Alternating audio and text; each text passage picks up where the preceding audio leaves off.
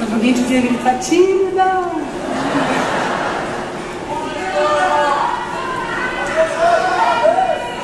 Bom, deixa eu. É, bom, cantei para vocês a primeira música que eu fiz com o Arnaldo, a segunda música que eu fiz com o Arnaldo.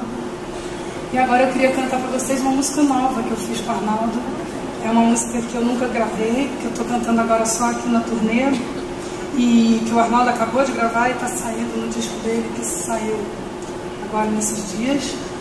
E que a gente fez junto em dezembro, no final do ano passado quando ia ter aquele fim do mundo, né? Então, a gente, a gente por acaso foi fazer uma viagem naquele momento do fim do mundo. E aí a gente passou uns dias juntos ali. Quando a gente está assim mais tempo junto, a gente está assim compondo, né? Aproveita para fazer umas músicas. E eu acho que o fato de aquele assunto do fim do mundo estar tá rolando é, gerou na gente uma reflexão sobre o mundo, sobre a humanidade e sobre o futuro da humanidade nesse momento.